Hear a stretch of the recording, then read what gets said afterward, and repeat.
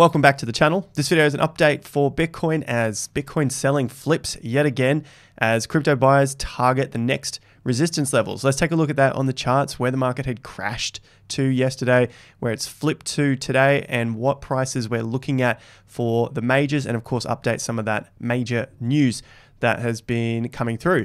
Thanks so much for all of your support on the like button. Will Bitcoin hit 50,000 before it hits 40,000? Smash the like button if you think we'll get to 50,000 first. It works on Twitter. Let's play a game with the like button. It's so boring just asking the same thing. Hit that like. So let's play a game with it.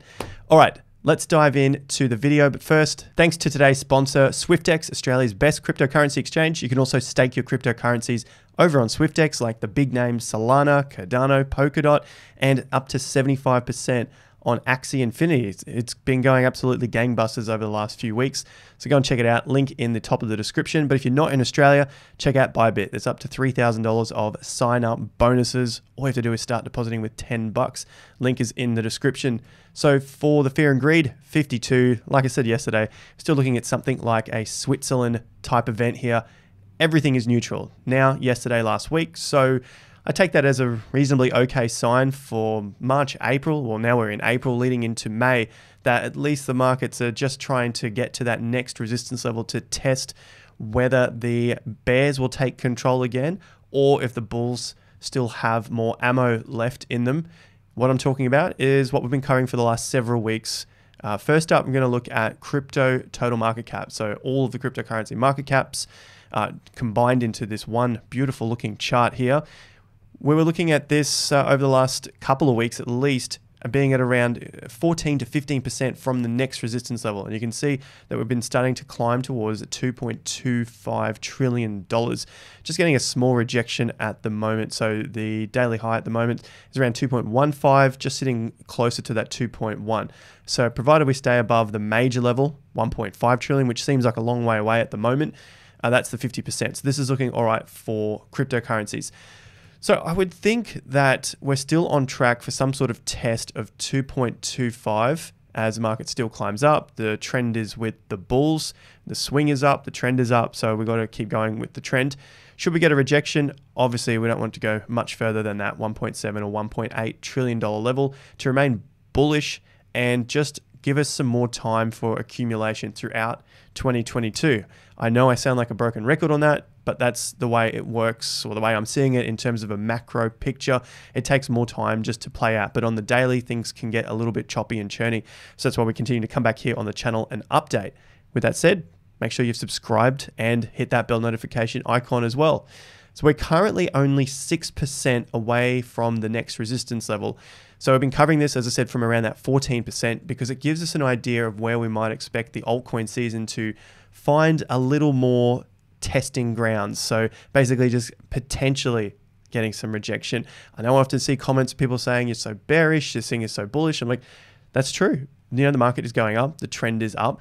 But remember what happens throughout these markets. You can go back and test anything in history. And I know the majority of people don't want to test, but the viewers, you guys, you do do your testing. You check the markets. I see your comments. You can see these markets run down, obviously, and then they start to test the upside. And once they've gotten to a point that they feel like that's enough for them, then they come back to the downside just to test if the market has gotten rid of all of the sellers. So the sellers have left. And that's when we know that we're ready to move on again. So that's why we always get these moves from highs to lows, the swings, the titles with the sellers in control, then the buyers in control, and it's just a matter of a time frame that personally that I'm looking at, and of course every other investor is looking at as well. You're looking at short term, or we're looking at a longer term picture here. So now we are six percent away from our next resistance level. Let's see how that works out with Bitcoin and Bitcoin dominance. So yesterday's video, we were looking at the market just starting to fall past these levels. It started to crash and basically got to a nice support level of around 44,000 US dollars. You can see from the chart here that that was a previous level that it's come back to over the last six to 12 weeks or so. And so that's acted as support for now. That was yesterday. Perfect support bounce, you can see there. And today we've flipped, the buyers have taken control, and we're trying to work our way back through all of the selling that happened last week. So the first target on a short term time frame is just above where the market did begin to break down. So that was the 2200 bar, so 31st of March. And the high price, I'm just looking at the top here, is at 47,600. So ideally, what we want to see is market get back above, hold above that level, and then those highs at $48,000. So we're not too far away from that at the moment. And exactly, we are 3% from that level and also 2.3% from these highs. So not doing too bad after a nice flip from uh, the bears taking control, which seemed to be the profit taking that we were looking at, and then that nice bounce back. All right, the next level, the next uh, macro level that I'm waiting to see how Bitcoin acts, how it responds to that level is, of course, that 50 to 52,000. And that's about 10% away from our current prices. So the short term is interesting. It's basically like the news and we just see what's going on. Are the bears in control? The bulls in control? Who's selling? Who's buying? As opposed to what's actually going on in the news headlines, because obviously the price has to be bought and sold, and that's what we're watching. And now we're looking at the macro, about 10% away from those uh, those next levels, because we're currently trading at 46,500. Next levels 50, 52,000. I'm very excited to see how Bitcoin reacts if we can get to that point. As for the dominance, Remember this from the last couple of weeks.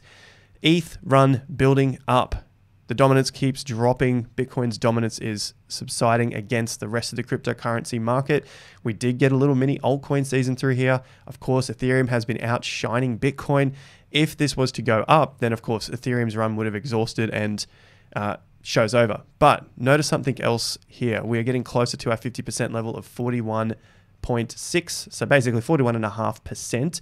Should we see a bounce here, then this will put a stop to probably the mini altcoin season and, of course, Ethereum's run as well. Speaking of Ethereum's run, it's only 1.5% away from closing above the resistance level. So this is the downtrend, the mega major downtrend that the rest of the cryptocurrency market has been on, and of course Ethereum as well down to January from the tops of November. You can see we're getting close. The market's finding some resistance at the moment over the last few days. So we know we're starting to uh, get to a point that maybe more sellers are coming into the market for the short term. So Ethereum is obviously stronger uh, factually because you can see how close we are to that 50%.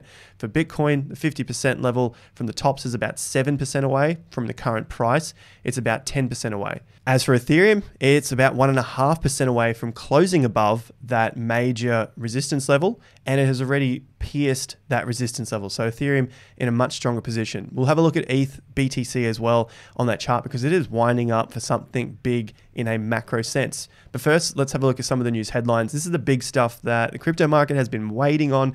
It's been rejected again. SEC denies Bitcoin spot ETFs from Cathie Wood's ARK Invest. So Cathie Wood's big into the technology stocks and technologies in general, of course, um, with Bitcoin, Tesla stocks, etc. And then also 21 shares has also been rejected as well. So we're looking at the rejection order. The SEC said firms had not sufficiently met the requirement to prevent fraudulent and manipulative acts and protect investors and the public interest. Okay, so that's why they rejected it. So again, back to the drawing board. Grayscale's CEO whose own firm is set to receive a decision. So the next decision on the next spot Bitcoin ETF is in early July, said all options are on the table when asked if he'd consider filing a lawsuit against the SEC. So these spot Bitcoin ETF applications have taken a very long time, and I think a lot of them are getting a little bit annoyed that nothing is going through at this point. Crypto markets, the crypto sphere was expecting some sort of spot ETF acceptance last year, and that may have caused part of the energy to just spill out of the market as well. You know, this is something that has been building up, and we're waiting for this spot ETF, but we're only getting futures ETFs. And here we are right now. So wait and see how we react to these next levels as always, with a macro view, uh, I'll leave a link to the uh, four year cycle video at the end of this one.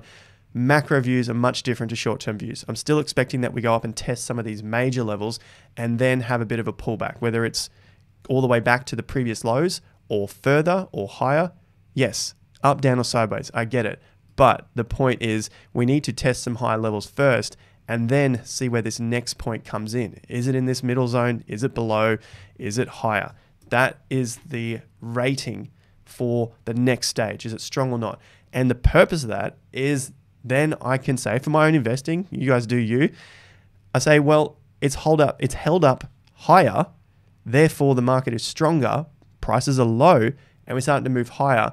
That gives me confidence to go in heavy. I can wait because I'm a more macro investor than trying to buy all the little dips all the way down. That's how it's used. Back to the news, and the EU Parliament votes to impose KYC on private crypto wallets. The Econ and Libby I'll call it that. Committees voted to approve a proposal that would require cryptocurrency services service providers such as exchanges to collect personally identifiable information from individuals who tra- transact more than a thousand euros. So essentially, anything you do on exchange, we want to know who it's going to and basically who owns that address more than a thousand euros. So there's not much to it. I know here we're at something around 10,000 Aussie dollars. Unhosted wallets refer to non custodial wallets, exactly what we looked at there. Things like your Ledger and your Trezor, they still want to know who they belong to as well.